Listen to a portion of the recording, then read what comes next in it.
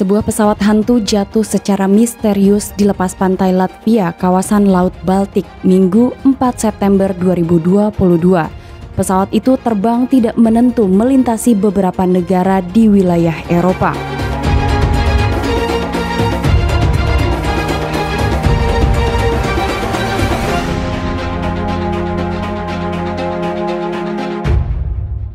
Assalamualaikum warahmatullahi wabarakatuh. Hai halo Delvers, ketemu lagi sama aku Tamara Delv. Di video kali ini aku akan membahas mengenai sebuah kabar viral yang terjadi pada September 2022 di mana sebuah pesawat hantu dikabarkan terbang di atas langit beberapa negara wilayah Eropa.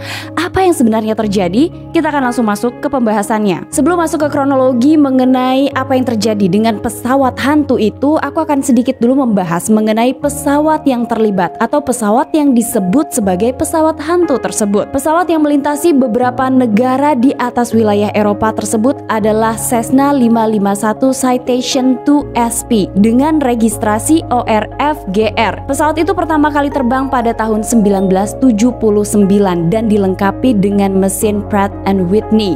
Disebut-sebut pesawat tersebut bernilai sekitar 1 juta US dollar dan dimiliki oleh seorang pengusaha pengusaha sukses asal Jerman bernama Karl Peter Griesemann. Beberapa surat kabar asal Jerman menyebutkan bahwa itu adalah pesawat pribadi miliknya. Dan masih dari beberapa media Jerman diungkap bahwa pilot yang menerbangkan pesawat hantu tersebut adalah sang pemiliknya, yaitu Carl Peter Griesemann. Disebutkan bahwa Carl Peter ini tidak sendirian, ia bersama dengan tiga penumpang lainnya. Yang pertama adalah istrinya Julian, kemudian anak perempuannya Lisa, dan seorang penumpang lainnya bernama Paul yang merupakan pacar dari Lisa.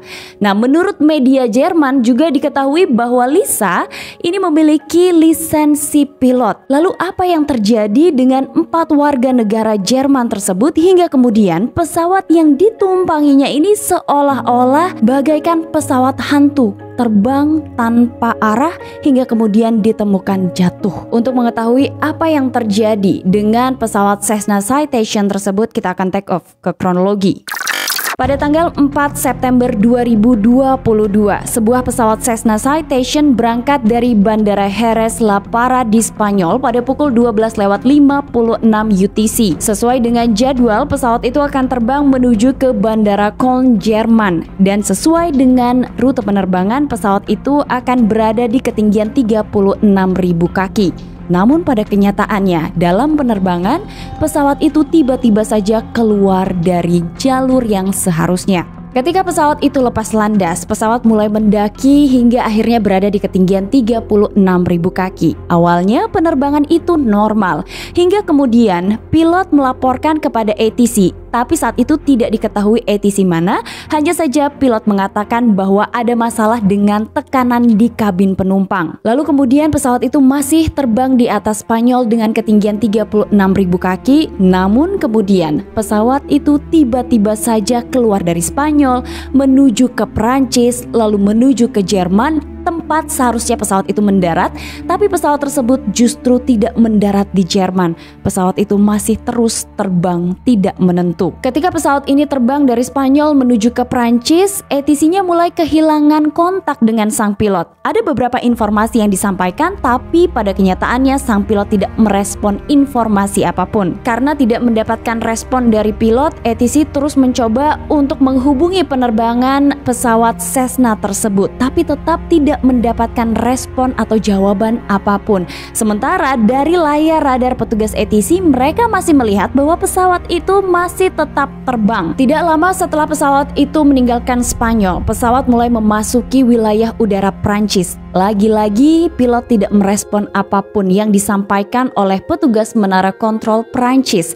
Hingga kemudian karena ATC telah kehilangan kontak dengan sang pilot, dua pesawat tempur milik Angkatan Udara Prancis yaitu pesawat Rafale segera diterjunkan untuk mencegat pesawat Cessna tersebut. Saat itu dilaporkan oleh pilot dari jet tempur Rafale bahwa ia tidak melihat adanya seseorang di ruang kokpit dan ia juga telah melakukan melakukan upaya untuk menghubungi pesawat Cessna itu, tapi lagi-lagi tidak ada respon. Setelah terus mengikuti penerbangan pesawat Cessna, jet tempur milik Prancis ini terus mencoba untuk menarik perhatian dari pesawat Cessna tapi tetap tidak ada respon. Setelah tidak mendapatkan respon dari pilot Cessna, maka dua jet tempur milik Prancis ini akhirnya melepaskan pesawat Cessna itu karena pesawat mulai masuk ke wilayah udara Jerman. Pada pukul 16 lewat 15 UTC, pihak Jerman langsung berupaya untuk menghubungi pilot dari pesawat Cessna itu, tapi lagi-lagi tidak ada respon. Sehingga kemudian pada pukul 16 lewat 15 itulah dua jet Eurofighter Typhoon milik Jerman segera diterbangkan untuk melacak penerbangan Cessna. Namun lagi-lagi dua pilot dari jet tempur milik Jerman ini melaporkan bahwa mereka tidak melihat keberadaan siapa pun di ruang kokpit dan mereka juga mencoba untuk menghubungi pilot Cessna tapi tidak ada jawaban. Beberapa manuver bahkan dilakukan untuk menarik perhatian dari pesawat Cessna tapi tetap tidak ada respon. Sehingga kemudian pada pukul 16 lewat 50 UTC akhirnya jet tempur milik Jerman ini lagi-lagi melepaskan pesawat Cessna karena pesawat itu mulai masuk ke wilayah udara Swedia. Pesawat yang seharusnya mendarat di Jerman itu justru terlihat terus terbang melewati Jerman. Pilot NATO dan personil Swedia awalnya melacak pesawat dan melihat tidak ada orang di kokpit. Sebuah pesawat tempur dari misi polisi udara Baltik milik NATO di pangkalan udara Amari, Estonia digunakan untuk mengikuti pesawat tersebut. Tapi dari semua pilot jet tempur yang mencoba untuk mengikuti penerbangan Cessna itu, mereka melaporkan bahwa tetap tidak ada tanggapan dari pilot dan mereka juga tidak bisa melihat adanya pilot di dalam ruang kokpit pesawat Cessna tersebut. Beberapa saat setelahnya, jet tempur F-16 milik Denmark mengambil alih pengawalan penerbangan pesawat hantu tersebut. Lagi-lagi pilotnya melaporkan tidak bisa melihat siapa pun di ruang kokpit pesawat Cessna. Pesawat itu seperti terbang tanpa pilot melintasi beberapa negara di kawasan Eropa. Setelah sekitar satu jam kemudian, pesawat itu mulai turun dari ketinggian 36.000 kaki ke ketinggian 35.000 kaki. Pada pukul 17 lewat 31 UTC, pesawat itu terus turun di sebelah barat Pulau Gotland, Swedia. Pesawat itu kemudian terlihat berbelok ke kanan, lalu jatuh dalam posisi spiral di lepas pantai Latvia. Masih dari keterangan pilot jet tempur Denmark, mereka menyatakan bahwa pesawat itu jatuh dengan cepat sekitar 8.000 kaki per menit. Pesawat hantu itu telah terbang sekitar 4 jam 54 menit setelah berangkat dari Spanyol dan kemudian jet pribadi itu jatuh di kawasan Laut Baltik. Tim pencarian dan juga penyelamatan langsung berupaya untuk menuju ke lokasi di mana pesawat itu terakhir kali terlihat di radar. Dari pernyataan pilot jet tempur Denmark diketahui pesawat itu telah jatuh pada pukul 17.45 UTC. Beberapa negara langsung berupaya untuk ikut dalam proses pencarian dan juga penyelamatan seperti Swedia, Denmark, Jerman dan juga Perancis. Hingga kemudian helikopter penyelamat milik Swedia dapat menemukan puing-puing dan juga tumpahan minyak di dalam air. Hal senada juga disampaikan oleh pihak maritim Latvia. Mereka menyebutkan mereka menemukan tumpahan bahan bakar dan juga menemukan tiga puing pesawat yang kemudian dikonfirmasi milik pesawat Cessna. Ketika kapal Angkatan Laut Latvia itu dikirimkan dan juga Coast Guard dikirim ke lokasi di mana pesawat Cessna itu jatuh,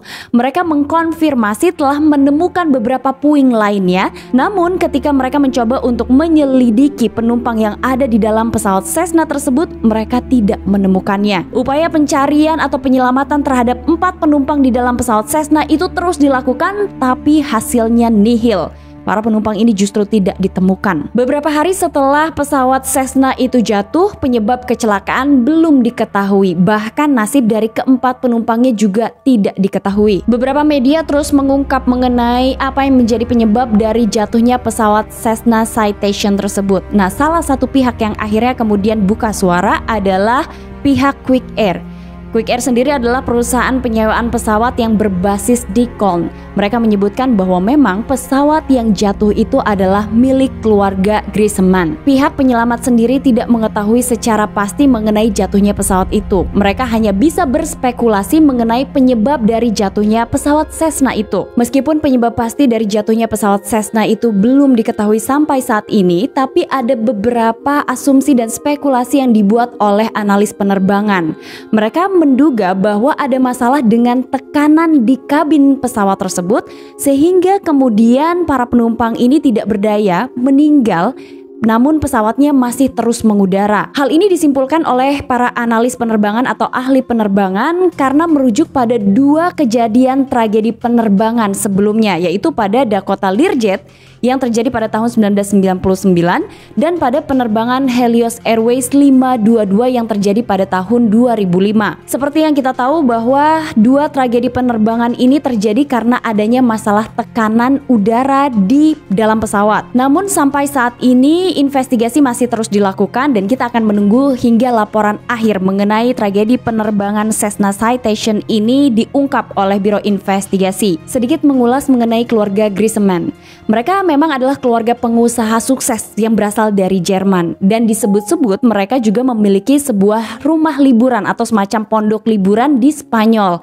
Nah, perjalanan pada tanggal 4 September 2022 ini diduga adalah perjalanan kembali setelah mereka liburan dari Spanyol menuju ke Jerman. Data mengenai keluarga Griezmann ini sendiri juga tidak diungkap secara luas ke publik. Salah satu alasannya karena memang Carl Peter Griezmann ini merupakan salah seorang pengusaha terkenal tapi tertutup mengenai dunianya atau profil pribadinya sehingga hanya sedikit sekali informasi yang bisa diungkap ke publik mengenai sosok dari Carl Peter sendiri. Sedikit membahas mengenai pesawat yang terlibat dalam peristiwa ini. Pesawatnya adalah Cessna Yang seperti kita tahu Cessna atau Cessna sendiri telah lama memproduksi pesawat kecil untuk penggunaan bisnis dan pribadi selama hampir lebih dari satu abad. Nah khusus untuk Cessna Citation 2 ini adalah jet yang dibuat oleh Cessna sebagai bagian dari keluarga Citation atau hasil pengembangan seri terdahulunya. Pesawat itu terbang pertama kali pada tanggal 31 Januari 1977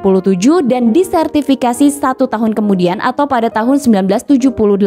Memiliki rentang sayap 16 meter dengan panjang 14 meter. Pesawat Cessna ini juga memiliki jarak tempuh 3169 km dengan kecepatan jelajah 693 km per jam. Khusus untuk tipe SP atau single pilot ini dikirim sebanyak 688 armada ke seluruh dunia. Dan ternyata untuk tipe SP ini memerlukan pelatihan khusus bagi pilot yang menerbangkannya. Pertanyaannya, apakah sang pilot yang menerbangkan pesawat itu di tanggal 4 September 2022 memiliki jam terbang yang cukup atau pelatihan yang khusus pada saat ia menerbangkan pesawat itu? Nah, itulah informasi dari channel Tamara Delf mengenai tragedi penerbangan yang dialami oleh Cessna Citation 2 di tanggal 4 September 2022 kita semua belum tahu apa yang terjadi dengan penerbangan itu. Tapi kalau kalian ditanya kira-kira apa yang menyebabkan hingga pesawat itu akhirnya terbang keluar dari jalurnya kemudian melintasi beberapa negara di wilayah Eropa. Kalian boleh komen di bawah sini. Kita diskusi nanti. Nah, ternyata ada satu lagi sejarah penerbangan yang belum terungkap sampai saat ini. Mudah-mudahan Biro Investigasi yang melakukan penyelidikan atas jatuhnya pesawat Cessna ini segera bisa menerbitkan laporan akhirnya. Nanti kalau laporan akhirnya sudah ada, kita akan sama-sama bahas lagi ya.